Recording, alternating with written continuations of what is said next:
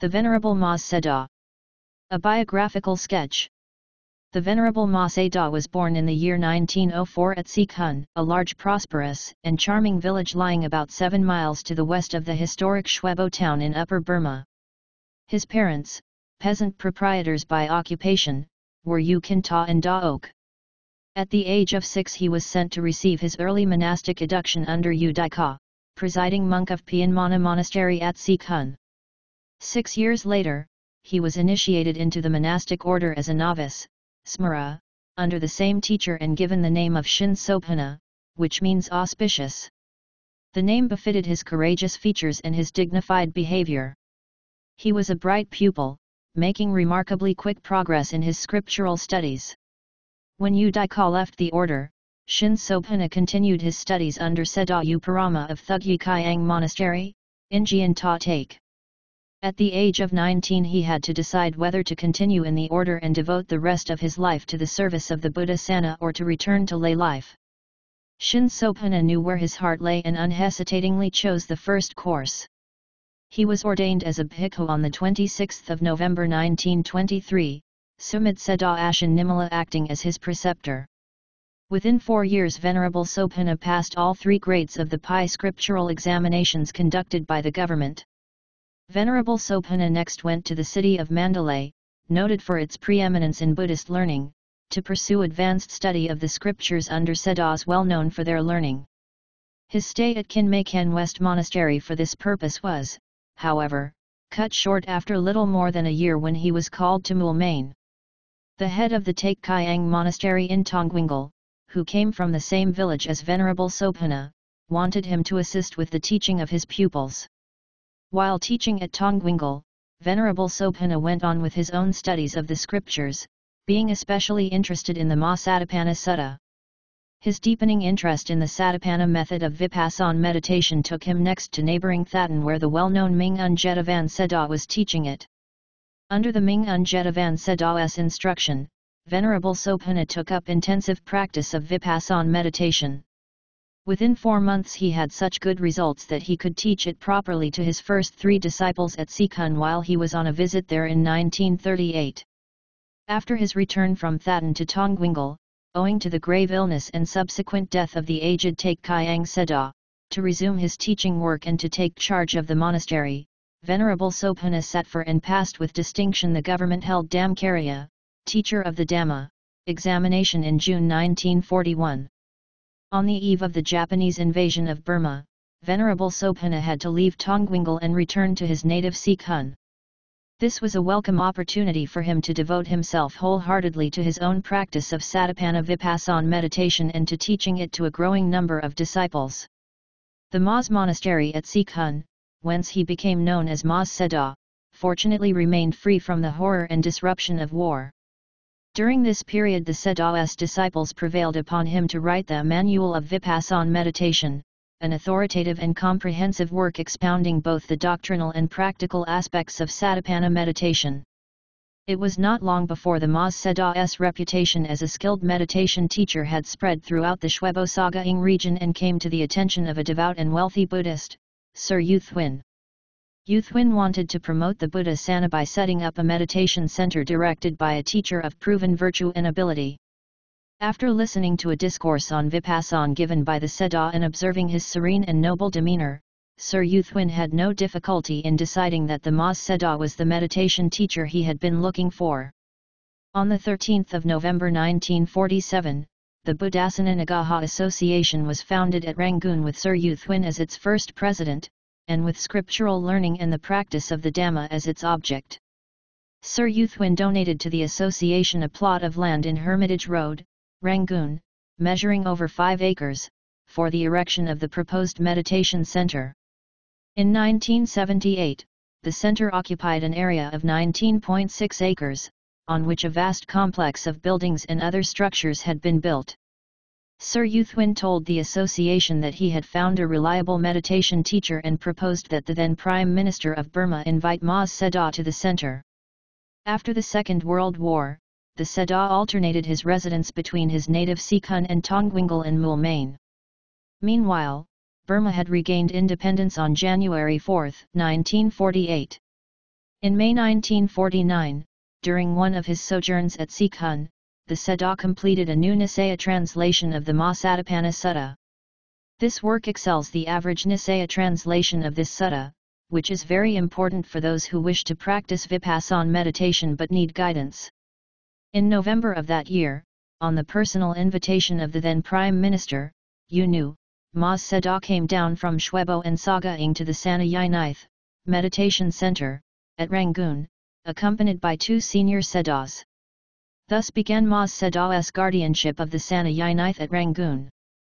On December 4, 1949 Mas Seda personally instructed the very first batch of 25 meditators in the practice of Vipassana. As the meditators grew in numbers, it became too demanding for the Seda to give the entire initiation talk to all the meditators. From July 1951 the tape-recorded talk was played for each new batch of meditators with a brief introduction by the Seda. Within a few years of the establishment of the Sanayinath at Rangoon, similar meditation centers were inaugurated in many parts of the country with Mas-trained members of the Sangha as meditation teachers.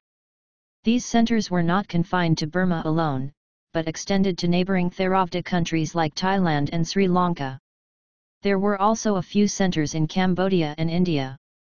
According to a 1972 census, the total number of meditators trained at all these centers, both in Burma and abroad, had exceeded 700,000.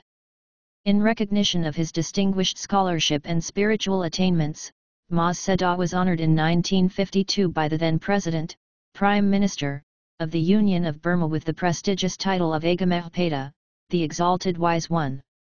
Soon after attaining independence, the government of Burma began plans to hold a sixth Buddhist council, Sacheon, in Burma, with four other Theravada Buddhist countries, Sri Lanka, Thailand, Cambodia, and Laos, participating. For this purpose the government dispatched a mission to Thailand and Cambodia, composed of Nongyen Seda, Mas Seda, and two laymen the mission discussed the plan with the primates of the Buddhist Sangha of those two countries. At the historic Sixth Buddhist Council, which was inaugurated with every pomp and ceremony on May 17, 1954, Mas Seda played an eminent role, undertaking the exacting and onerous tasks of Osna, final editor, and Pukaka, questioner. A unique feature of this council was the editing of the commentaries, ahakath, and sub-commentaries, Ka with Macron, as well as the canonical texts. In the editing of this commentarial literature, Mas Seda was responsible for making a critical analysis, sound interpretation, and skillful reconciliation of several crucial and divergent passages. A significant result of the Sixth Buddhist Council was the revival of interest in Theravada Buddhism among Mahina Buddhists. In 1955, while the council was in progress, 12 Japanese monks and a Japanese laywoman arrived in Burma to study Theravada Buddhism. The monks were initiated into the Theravada Buddhist saga as novices while the laywoman was made a Buddhist nun. Then, in July 1957, at the instance of the Buddhist Association of Moji, the Buddhasana Council of Burma sent a Theravada Buddhist mission to Japan. Ma Seda was one of the leading representatives of the Burmese saga in that mission. Also in 1957, Ma Seda undertook the task of writing an introduction in Pi to the Visuddhimagga Ahakath, to refute certain misstatements about its famous author, Venerable Buddhaghosa. The Seda completed this difficult task in 1960, his work bearing every mark of distinctive learning and depth of understanding. By then the Seda had also completed two volumes, out of four, of his Burmese translation of this famous commentary and classic work on Buddhist meditation. At the request of the government of Sri Lanka, a special mission headed by Seda U an eminent deputy of Mas Seda, went there in July 1955 to promote Satipana meditation. The mission stayed in Sri Lanka for over a year doing admirable work, setting up 12 permanent and 17 temporary meditation centers.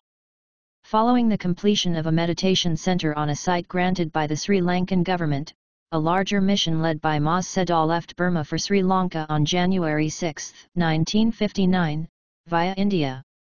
The mission was in India for about three weeks, during which its members visited several holy places associated with the life and work of Lord Buddha.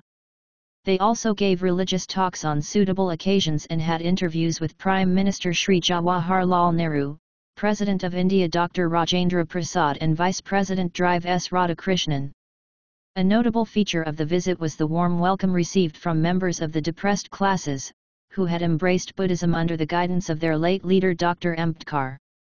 The mission flew from Madras to Sri Lanka on January 29, 1959 and arrived at Colombo on the same day.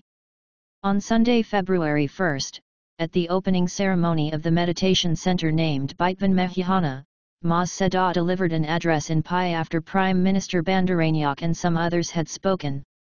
The members of the mission next went on an extended tour of the island, visiting several meditation centers where Mas Seda gave discourses on Vipassana meditation.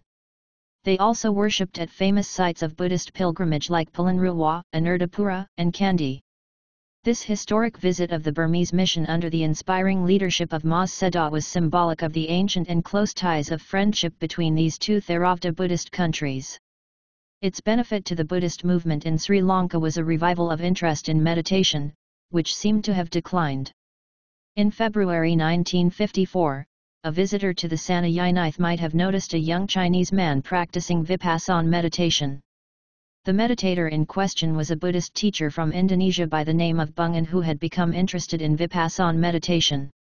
Under the guidance of Mas Seda and Seda Unutara, Mr. Bungan made such excellent progress that in little more than a month Mas Seda gave him a detailed talk on the progress of insight. Later he was ordained a bhikkhu and named Venerable Janarakita, with Ma Seda as his preceptor. After he returned as a Buddhist monk to Indonesia, the Buddha Sana Council received a request to send a Burmese Buddhist monk to promote missionary work in Indonesia. It was decided that Ma Seda, as the preceptor and mentor of Ashin Janarakita, should go. With 13 other Theravada monks, Ma Seda undertook such primary missionary activities as consecrating smas, ordination boundaries, ordaining bhikkhus, initiating novices, and giving discourses, particularly talks on Vipassana meditation. Considering these fruitful activities in promoting Buddhism in Indonesia and Sri Lanka, we might describe Mas Seda's missions to these countries as Dhammavijaya, victory of the Dhamma, journeys. As early as 1952, at the request of the Thai Minister for Saga Affairs, Mas Seda had sent Sedas U Sabha and U Indava SA to Thailand for the promotion of Satipana Vipassana. Thanks to their efforts, Mas Seda's method gained wide acceptance in Thailand. By 1960, many meditation centers had been established and the number of Mas meditators exceeded a hundred thousand. It was characteristic of the Venerable Seda's disinterested and single-minded devotion to the cause of the Buddha Sana that, regardless of his advancing age and feeble health, he undertook three more missions to the West, Britain, Europe, and America, and to India and Nepal in the three years, 1979, 1980, and 1981, preceding his death. Abhidhajamarahaguru Masayin Seda, who presided over the Saganyaka Executive Board at the Sixth Buddhist Council, urged Mas Seda to teach two commentaries to the Saga at Sanayanith. Venerable Buddhaghosa's Visuddhimagga Ahakath and Venerable Dhammapalla's Visuddhimagga deal primarily with Buddhist meditation theory and practice, though they also offer useful explanations of important doctrinal points, so they are vital for prospective meditation teachers. Ma Seda began teaching these two works on February 2, 1961, for one and a half or two hours daily. Based on the lecture notes taken by his pupils, the Seda started writing an essay translation of the Visuddhimagga, completing it on February 4, 1966. This Nisaya was an exceptional achievement. The section on the different views held by other religions, Samayantara, was most exacting since the Seda had to familiarize himself with ancient Hindu philosophy and terminology by studying all available references, including works in Sanskrit and English. Up till now Mas Seda has to his credit 67 volumes of Burmese Buddhist literature. Space does not permit us to list them all here, but a complete up-to-date list of them is appended to the Seda's latest publication, namely, A Discourse on Sakappaha Sutta, published in October 1978. At one time, Ma Seda was severely criticized in certain quarters for his advocacy of the allegedly unorthodox method of noting the rising and falling of the abdomen in Vipassana meditation. It was mistakenly assumed that this method was an innovation of the Sedas, whereas the truth is that it had been approved several years before Ma Seda adopted it, by no less an authority than the Mlay, original, Mingun Jetavan Seda, and that it is in no way contrary to the Buddha's teaching on the subject. The reason for Ma Seda's preference for this method is that the average meditator finds it easier to note this manifestation of the element of motion, vietto. It is not, however, imposed on all who come to practice at any of the Ma's meditation centers. One may, if one likes, practice Entnasati. Ma Seda himself refrained from joining issue with his critics on this point, but two learned Sedas brought out a book each in defense of the Sedas method, thus enabling those who are interested in the controversy to judge for themselves. This controversy arose in Sri Lanka where some members of the Sangha, inexperienced and unknowledgeable in practical meditation, publicly assailed Mas Seda's method in newspapers and journals. Since this criticism was voiced in the English language with worldwide coverage, silence could no longer be maintained and so Seda Unatara of Kabai, World Peace Pagoda Campus, forcefully responded to the criticisms in the pages of the Sri Lankan Buddhist periodical World Buddhism. Mas Seda's international reputation has attracted numerous visitors and meditators from abroad, some seeking enlightenment for their religious problems and others intent on practicing meditation under the Seda's personal guidance. Among the first meditators from abroad was former British Rear Admiral E. H. Shattock who came on leave from Singapore and practiced meditation at the Sanayanith in 1952. On his return to England he published a book entitled An Experiment in Mindfulness in which he related his experiences in generally appreciative terms. Another foreigner was Mr. Robert Duveau, a French-born American from California. He came and practiced meditation at the center first as a lay meditator and later as a bhikkhu. He subsequently published a book in France about his experiences in the Satipana Vipassana method. Particular mention should be made of Anagrika Sri Munindra of Buddhagay in India, who became a close disciple of Mas Seda, spending several years with the Seda learning the Buddhist scriptures and practicing Vipassana.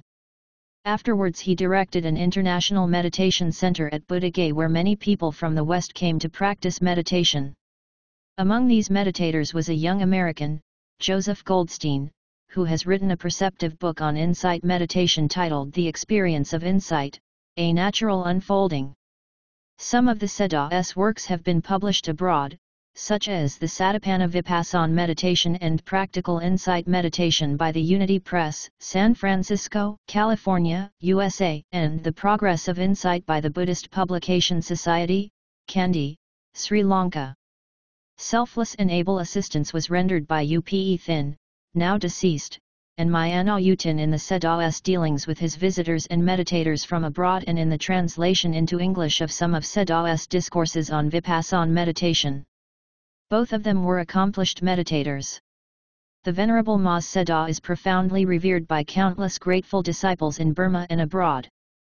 Although it was the earnest wish of his devoted disciples that the Venerable Ma might live for several more years and continue showering the blessings of the Buddhadhamma on all those in search of freedom and deliverance, the inexorable law of impermanence terminated, with tragic suddenness, his selfless and dedicated life on the 14th of August 1982. Like a true son of the Buddha, he lived valiantly, spreading the word of the Master throughout the world and helped many thousands and tens of thousands onto the path of enlightenment and deliverance. Unyinyi, Ma's disciple and meditator, member of the Executive Committee Buddhasana Nagaha Association Yangon, Myanmar. October 18, 1978